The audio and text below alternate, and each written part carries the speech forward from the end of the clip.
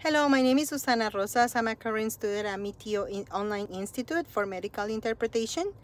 I really like the course, the way they plan it, the way it's designed. It's so easy to follow since the lectures, quizzes, and especially the live sessions. I love the live sessions because it give me a completely uh, uh, an idea of how it's going to be in the real scenario whenever I have to work with a provider and interpret for a patient. So it's, it's really useful. And the, the professors, the the persons in charge of the live sessions, they're really, really patient and they give you useful tips and knowledge that you're supposed to do whenever you are in the real, real live scenarios.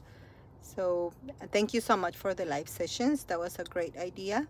I haven't done a coaching yet, but I'm planning to do it because I know like it's really, really good. It's one in one. So I, I guess it's, it's one another of the tools. They have too many, many tools that they really help you to get uh, ready for the national test. So I really encourage everybody, like whoever is looking for uh, get a better career or get better income. This is one of uh, the best and easiest courses that I've, I've, encountered.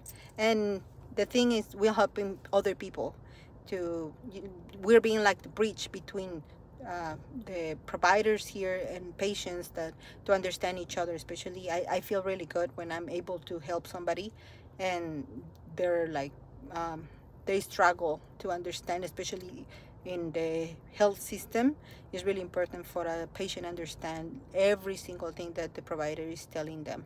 So currently thank, thanks to the live sessions and the program of MITIO I'm currently employed and um, I'm looking uh, always to escalate to a better uh, better future.